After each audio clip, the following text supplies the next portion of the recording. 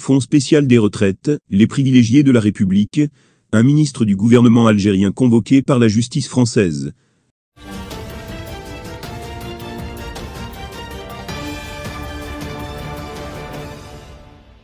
Fonds spécial des retraites destiné aux cadres de l'État et aux parlementaires, les privilégiés de la République. Au moment où de nombreux retraités peinent à boucler leur fin de mois, une catégorie de privilégiés, qui se recrutent parmi les cadres supérieurs de l'État, accède à des retraites dorées après seulement quelques années d'activité. Des voix s'élèvent désormais pour mettre fin à cette dualité. Dans une pétition rendue publique au début de cette semaine, des citoyens, dont l'universitaire Mohamed Enad, demandent aux autorités de procéder à l'unification du régime de retraite nationale à travers l'annulation du régime spécial de retraite, FSR, lequel incarne une véritable forme d'apartheid dans notre pays. Le document précise que l'existence d'un fonds spécial des retraites est devenue une simple spoliation des deniers publics au bénéfice d'une catégorie de privilégiés, dont certains ont fait beaucoup de mal au pays. La raison? La liste des bénéficiaires de ce régime est si longue puisqu'y figurent tous les cadres supérieurs de l'État et de l'armée, mais aussi la direction du FLN et de ses organisations satellitaires, indique la pétition. En lançant cet appel, ces citoyens veulent dénoncer l'existence d'un double système de retraite dans le pays.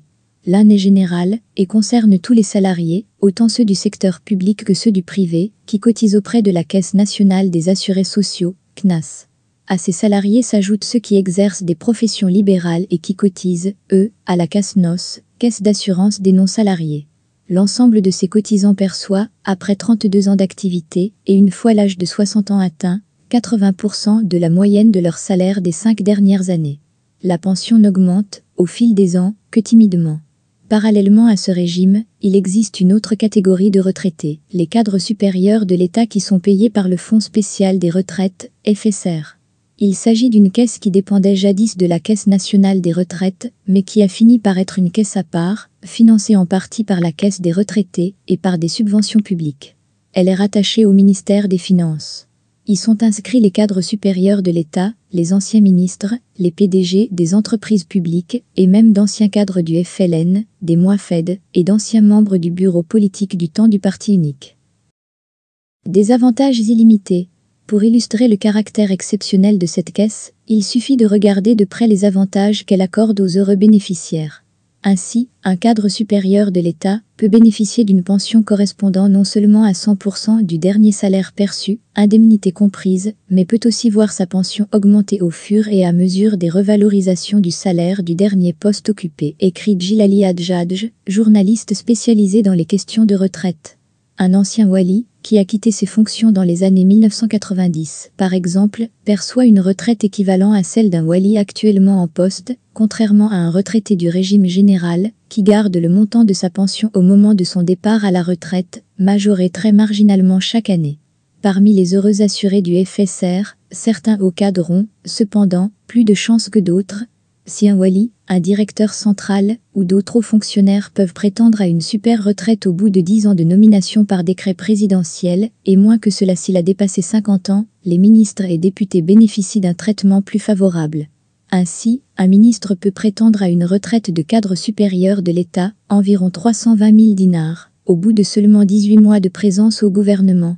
Plus que cela, une année après avoir quitté ses fonctions, un membre du gouvernement continue de percevoir son salaire et garde sa voiture de fonction. Quant aux députés et membres du Sénat, ils ont, depuis 2002, un traitement bien particulier. Le statut qui leur est accordé donne droit à n'importe quel parlementaire de bénéficier d'une retraite de cadre supérieur de l'État s'il accomplit deux mandats.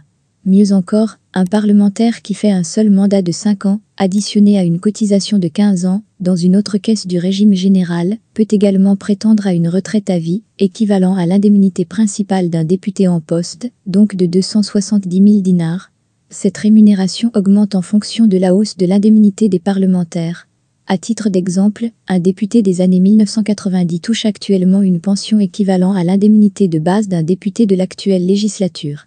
Parmi les privilégiés de ce système de retraite, une autre catégorie sort du lot. Les anciens moins faits des membres du bureau politique du FLN, en fonction du temps du régime du parti unique, bénéficient toujours du très convoité statut de cadre supérieur de l'État. Ceux qui sont encore en vie peuvent donc rouler des jours heureux, avec une confortable pension de retraite versée chaque mois grâce à l'aide des autres cotisants, et surtout à l'argent public. Outre les pensions dorées, ces retraités peuvent même prétendre à un autre privilège. En cas de nomination à une nouvelle fonction, ils peuvent garder une pension de retraite et bénéficier, en plus, de 40% du salaire du nouveau poste qu'ils occupent. Un cumul dont profitent beaucoup de ces privilégiés de la République. Plus problématique que ces avantages, la source de financement du FSR est considérée comme étant opaque. Conformément à la réglementation qui le régit, le FSR a trois sources de financement, les cotisations de ses adhérents, la contribution de l'État et les subventions de l'État, le cas échéant, mentionné ainsi dans le décret portant création du FSR. Le montant de cette contribution de l'État, contribution qui est en fait la source principale du financement du FSR, n'est pas rendu public dans la loi de finances et n'apparaît pas du tout dans le budget de fonctionnement du ministère des Finances. Si cette contribution est insuffisante pour payer les retraités du FSR, l'État vient à la rescousse à travers des subventions, témoigne Djilali Adjadj dans une interview au quotidien El Watan. Autant dire que ce fonds reste géré dans une totale opacité. Un ministre du gouvernement algérien convoqué par la justice française. Né à Kenchela, comme l'actuel Premier ministre algérien Abdelaziz Djerad, l'actuel ministre des Transports, Lazarani a fait l'essentiel de sa carrière dans le domaine du transport maritime en Algérie. Directeur du port d'Alger en 1985, avant d'être nommé à la tête de la Compagnie nationale algérienne de navigation, CNAN, en 1990, qu'il engage dans un partenariat avec la compagnie maritime française CMA, CGM.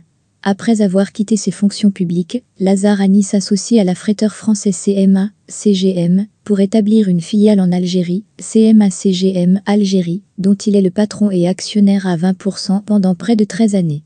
La rupture des relations entre Lazarani et CMA, CGM ne s'est pas faite dans la sérénité, cette dernière lui reprochant d'avoir détourné des fonds et d'avoir abusé des biens sociaux de sa filiale algérienne, alors que plusieurs plaintes étaient déposées contre l'actuel ministre algérien.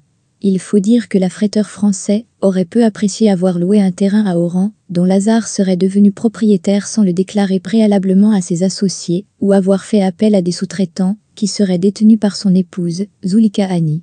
Le tribunal de commerce de Paris avait alors ordonné la saisie hypothécaire de plusieurs biens immobiliers appartenant à Lazare Hani en juillet 2013 dans la capitale française. Au mois de juin 2020, le gouvernement a décidé de la fermeture de plusieurs ports secs appartenant à différents opérateurs dont Alterco CMA-CGM, Alger Extérieur, Espace CMA-CGM, Oran, quelques jours avant de désigner Lazarani, l'ex-N degré 1 de CMA, GCM Algérie, ministre des Transports suite à un mini-remaniement dans le gouvernement de Gérard II. De sources fiables, nous apprenons qu'à 72 ans, le ministre algérien des Transports aurait été officiellement convoqué par la justice française suite au dépôt de plainte de CMA, GCM contre lui pour de graves accusations qui relèvent de l'escroquerie et de malversation dans la gestion de sa filiale algérienne. La convocation du juge, adressée au ministre de l'air Tebboune, aurait été remise par un huissier de justice directement à l'intéressé. Rappelons que l'État français, via le fonds d'investissement BPI France, détient 6% du capital de CMA, GCM, et même si la dette financière du groupe maritime est évaluée aujourd'hui à 17,8 milliards de dollars, l'entreprise affiche de solides résultats pour le deuxième trimestre 2020 malgré la pandémie de Covid-19, ayant vu une baisse d'activité de 13%. CMA, GCM a enregistré une marge opérationnelle en hausse de 86% à 497 millions de dollars et un bénéfice net de 136 millions de dollars. Abonnez-vous à notre chaîne. Cliquez sur la cloche pour rester au courant de l'actualité algérienne.